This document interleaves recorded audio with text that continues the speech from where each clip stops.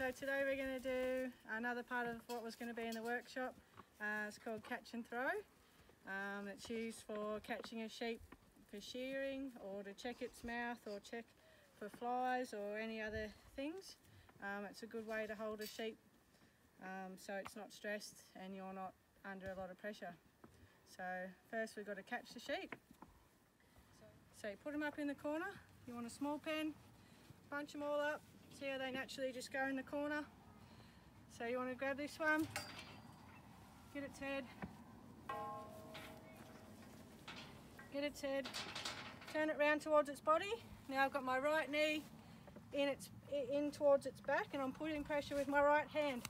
And then I just step back and then I can pull it up. All right? And now he's sitting there. Now he's sitting there um, you know pretty comfortable.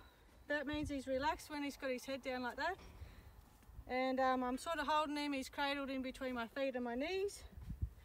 And from here I can check like he's a wether I can check for for any flies.